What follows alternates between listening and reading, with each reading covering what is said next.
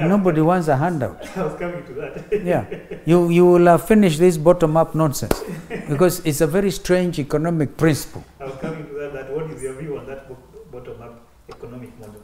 What I'm telling you, Eh, just by a stroke of the pen, mhm, cut taxation by 50%. mhm, Everybody will be able mhm, to earn a living without going for a handout. mhm. Bottom up is literally another way of adding corruption. It's actually, in my view, uh, saying let's collect money, go and give to Mama Mboga and give to others, Well, in fact, even under President Kibaki's government and ourselves, and by the way, I keep on saying, I was Kibaki's loyal vice president for five years and we used to fight with Raila Ovoi Senior.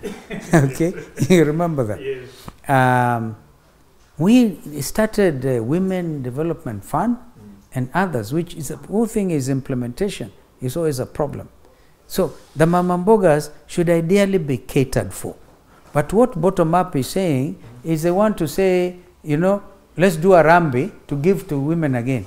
When you go back to the spirit of Harambee, you are saying we steal for the for all the parastatal chiefs must be bringing a million shillings to a certain and the chiefs again chukua kuku eh, na mkubwa anataka pesa tuka- tukafanyie watu Harambee. Actually bottom, aram, bottom up is a reintroduction of harambee Because even if it is William Ruto, he cannot sustain it. Yeah. He can't sustain it. So he'll have at some stage to say, bring me money to take to the people. Where is that money going to come from? From the eh, And a lot of these parastatals have been bankrupted corruptly. Good example, Kenya Power Lighting Corporation. The effect is it's very expensive to establish business. It's another issue, manufacturing sector.